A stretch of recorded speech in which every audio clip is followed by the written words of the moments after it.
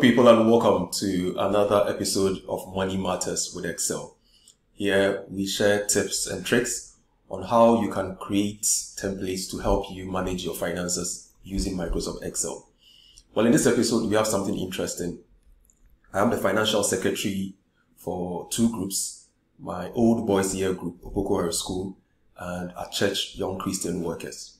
Now, as a financial secretary, you are supposed to help people see how much they've paid, okay, as in dues every year. So here I have a template that captures all the payments and allocates, okay, for each year how much dues has been paid. And this is automatic. So I want to share the tips I used in creating that template with you. Maybe you're not a financial secretary, but you can find it useful in applying it to areas of your work.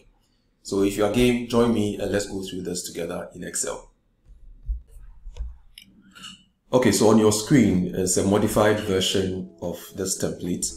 So there are basically two worksheets or two tables here. The first one is the register of members. Now here I have the registration number column. So here everybody has a unique registration number. This is to avoid duplicate names and all that. So here we are going to use the registration numbers for all the payments and then the accounting. Then we have the name of the members and then any attributes that will be helpful in your reporting, you can add it in this table. Now we have a column for date of registration. This is going to help us know when to apply the dues. So when somebody joins, you can decide that start collecting dues from this point. Okay, so that is going to be crucial in calculation of the dues. Then we have a column for registration. So column E and F, as you have it on your screen, are columns to account for irregular payments. So aside dues, okay, people pay registration. So we have a column to capture the registration fees. And then first payment is also prorated dues. So these ones are payments that are not the regular dues. Okay, so any other column that you find you can add here, you can use it in here to capture irregular payments. So first payment can be person joined us two months to the end of the year. We agree that okay, pay just two months dues. That will be captured as first payment. And then the irregular dues collection will begin from that point onwards. So if you look here in column G to L, I now have the years in there with the corresponding dues payment. So I have the dues for each year set at the top. Okay, this also accommodates changes in the dues payments in subsequent years. So here's the thing: if somebody pays, okay, person gives you 400 cedis. as long as it's 120, it will allocate 120 and then spread the rest over the subsequent years. So let's go to the payments table, a very simple table. So here I have the dates, I have the registration numbers, okay, which is in a drop down. So I can pick the registration number from here and then it throws the member's name and then whatever amount the person has given you, you put in here and then you assign the type. So the type reflects the columns that you just saw in the register. So I have registration, first payment, and then dues. You can add on. Okay. So as an example, if let's say ID number 1003, okay, makes payment for registration and dues. This is how it's going to be. So I'll come here, Control D to pull a new line. 1003 is member 3. Okay, so he gave us 20 cedis for registration. So that is recorded. Same member, after making that registration fee, gave you, let's say, 400 cedis. okay, to be applied to his dues. Now, you recorded 400 cedis as a lump sum here right? But when we go to the register, you realize that for member 1003, it allocates that 20 cedis and then now spreads the 120. So we have here 360 and then the leftover of 40 into the 2021 period. So together, you would actually be able to see how much the person has paid in total. So now let's learn how to build this from scratch using Excel. Okay, so there are just two tables here. The payments table, okay. So this is just date number, name, amount, and then type, right? We use tables because when you add new data, the tables expand automatically, updating all your calculations, right? And then we have our register. So in our register here, you just put the registration number, the name, the occupation and any other attributes and the date of registration, right? And then in the headers, you have the year that you want to start collecting this. Okay, then on top you have your dues. Now let's see how we populate the payment table. So this is a table already, it's named payments. The other one is also called a register. Makes it easier for our calculations, right? In the number column, we want to put in a drop down, that is a data validation, okay, to make it easier to pick all the unique numbers. So I'll come standing in here, I'll come to data, right? In the data tools group, you see data validation. Okay, so this is data validation. It's set to any value by default, but we want a list. So I'll change it into a list, go to my source, okay, and then I'll now reference this entire column, right? And then I'll click OK. So what I've done is now I can now pull any of these unique numbers. Now, if these numbers come in, example, I select 1001, I want the name to be thrown here automatically, right? So it appears there's a data validation here. So let me just reset this. Okay, so here I want the name of 1001. I can use XLOOKUP, index match, or VLOOKUP. Okay, so let's use XLOOKUP. So X lookup, this is my lookup value, what I'm searching with. Okay, now it's going to be matched in the registers column for registration numbers. Okay, so I'll call the name of the table and then call the number column, right? And then my return array, okay, is the name, again from the register. Okay, so I have the name here. There are other options, but this is fine. So this tells me that this is number one, okay, number three, and so on. Okay, now at this point, whatever the person gives you is what you enter in the amount column. So I'll put in 20, right? Then we now have a column to help us allocate what type of payment it is. Okay, so here I can also put in a data validation. In fact, the shortcut for the data validation is Alt DL. Press one after the other. Okay, so here I can set it to a list. But this time around, instead of referencing a range, I can type the unique payment types here. So I have first payment. It helps if this is the same as the headers you have in the register table. So first payment, okay, I also have the dues, okay, and then I have registration separated by commas. You can add on from this point. So I click OK. So at this point, I can say that this is for registration, right? Now I can put a date here. So let's put in a new random date. Okay, 2018. So I have the first record of the payment I have received. Now, how does this translate into the register? Okay, so if I come here, right, I'm first going to do the formula to capture registration and then another formula to capture first, first payment. And then I'll do one formula that will take care of all the dues allocation. So at this point, we are going to use a simple sum ifs, right? So what are we looking for here? I want to sum, so sum ifs, okay, all the payments that has been made by a particular member from the payments table. So I'll call the payments table okay that's my sum range so my sum range is going to be the amount from the payments table okay based on two criteria that the number is the same as the person who paid okay?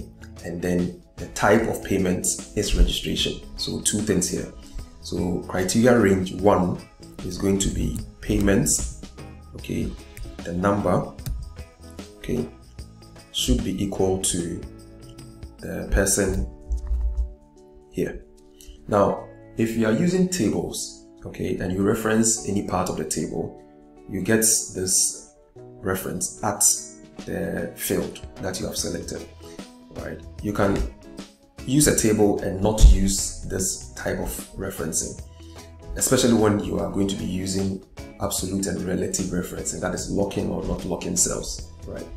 So for this purpose, I want to turn off this feature of the table to make it easy for me to lock the cell references I'm going to do. So I'm going to freeze this formula. Well, one way you can do that is to click before your equal sign and then push in a space. So I'll click here. Okay, so this will stay. Now to turn off that feature, I'll go to File, okay, then go to Options, right, then under Formulas, okay, you use, you see working with formulas and then you uncheck Use Table Names in Formulas and then I'll click OK, right. So this time, if I come and I activate my, my formula and then I come here, I'll reference this. Now it gives me the A1 style reference. Okay. Now the reason I did this is that I want to lock the column A so that it doesn't move with me to the right, but the rows can go down. So I can do F4, F4, and then put the dollar sign at A. Right. So this completes my first criteria range and criteria. Now my second one is going to be okay type. So I'll call it I'll call the payment type. Okay. And then the criteria for this is going to be the name I have in here, right? So this is why I said it's important that the things you put in the data validation should match this. Okay, so I'll now lock this at row level so that if I go down, row 2 stays, it doesn't move down with me. Okay, so I'm going to close this and then you realize that it captures the 20 cedis that member 1 made. Okay, now the formula for first payment is going to be the same. The only thing that is going to change here is that the criteria is going to change from registration to first payment. So I can just shift right arrow and then control R. Right. So if I do this, then if member makes first payment, this will be captured as well. Right. So now let's learn how to allocate uh, dues. So we come back to our payments let's say this same member, okay, 1001, okay, now makes first payments of 40 cedis. Okay, so we assign first payment here and then goes ahead. So this same member, okay, now makes, let's say 400 cedis, right? And it's supposed to be allocated to dues. So I'll just put in dues here, right? Now, how do we spread the 120 from this point onwards, right? So again, we are going to use sum ifs. Okay, so we are going to have sum ifs. Okay, and then say that if we are going to sum every payment that the person has made. Okay, again, the same criteria. So in the payment, the number is equal to this guy. So A3, I'll log this at column level so in this case, I just need to know that it is this particular member who paid. So this is my sum ifs. So this gives me 460, which is the total payment for the particular member. But this is not right because it's also accounting for the irregular payments, which is registration and first payment. So what we need to do is to create a formula that will always subtract whatever prior payments has been made and it carries the balance forward, right? So for starters, I'm going to subtract, so minus sum. Okay, now to create that expandable range, okay, I'm going to select the first cell and then add the next one. So this is E3 to F3. So if I'm standing here at this point, what is going to be subtracted is this and that. Now I want to lock this first reference, that is the E column, so that it is anchored. And then as you move, the range becomes expandable.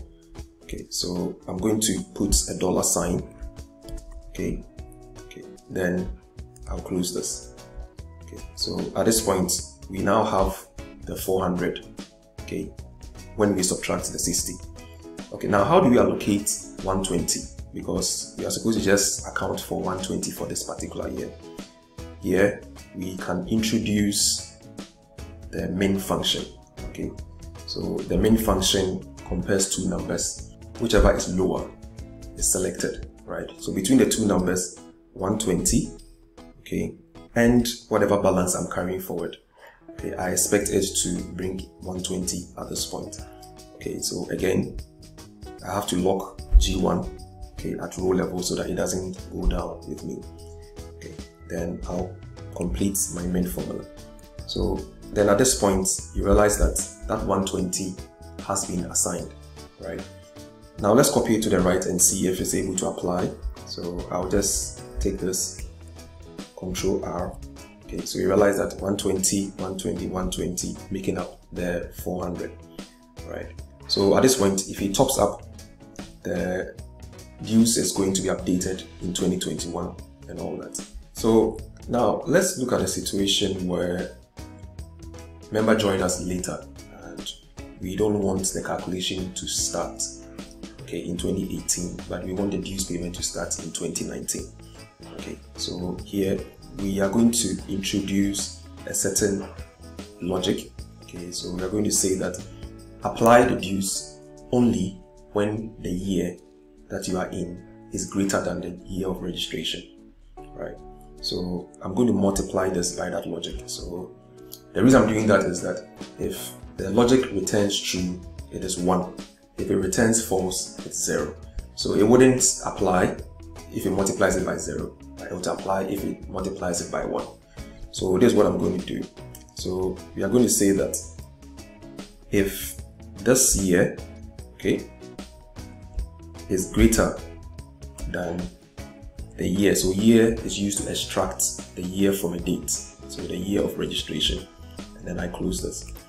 Now, the good thing about Excel formulas these days is that if you highlight a particular portion of your formula, okay, you get a preview of the value in there. So this is going to give us 2017, right? If I highlight this, you get 2017. Now, note that if I highlight G2, okay, this 2018 is in double quote. It means it's seeing it as text, right? So I'm going to wrap this around a value function. Okay, so the value function will convert this text so that I can compare it with this here. Okay, then I'll now put the whole boolean logic in a bracket as well. Okay, so if I highlight the whole of this for this particular expression, okay, I'm going to get true, which is going to be one. Okay, so now let's see what we get. So it's true because person was registered in 2017, he should start paying dues from 2018. And what if he was registered in 2018? So I'm going to change this. Okay, now you realize that it moves it further on, right? There's no calculation here. Okay, so if your goal is to copy this formula down, then of course we need to lock G2 as well, okay, at row level. So I'll put a dollar sign before row 2 okay so that it doesn't go down right. Okay so now at this point we can simply copy down our formulas okay? So I'll just highlight the whole of this control shift down control backspace F2 control enter right? So this now will now apply the formulas to all the rest of the members so there are a lot of learning points here. I will make the stats workbook available so that you can practice along and then create your own version. Thank you so much for watching. Subscribe for notification of new videos and hope to see you in the next episode. If this video was helpful and you would like to receive more of these videos directly on your WhatsApp, you can send ad to this WhatsApp number. We'll add you to our broadcast list so you receive our videos directly. You can also visit our YouTube channel, Finex Skills Hub. All our old videos are here. Please subscribe for notification of new videos or connect with us on any of these social media handles. Thank you so much for watching.